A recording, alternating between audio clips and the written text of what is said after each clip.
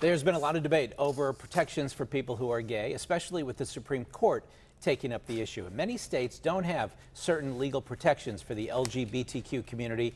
That includes Pennsylvania. But the city of Pittsburgh does. Jon Delano takes a look at the current laws and how the Supreme Court's decision could affect them. In a nutshell, the Supreme Court is being asked to decide a fundamental question.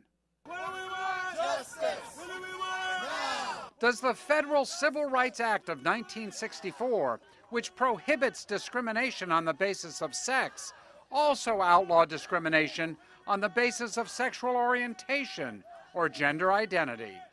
Right now, in most parts of Pennsylvania, you can be fired for being gay, lesbian, gender.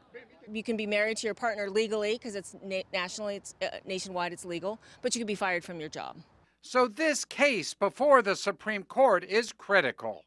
It's very uh, important. It's a pivotal moment of our lives as LGBTQ people um, in Pittsburgh. We have been fighting for these same rights for decades. Ciora Thomas with Sisters PGH is a transgender female of color.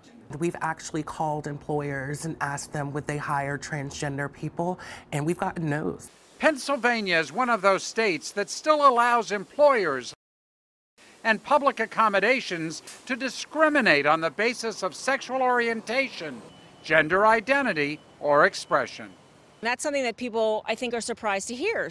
But some municipalities like Pittsburgh have their own laws. If somebody is in an employment situation, they're trying to apply for housing, they're already in housing and maybe they're being asked to leave or evicted, or they're denied a public accommodation or a city service.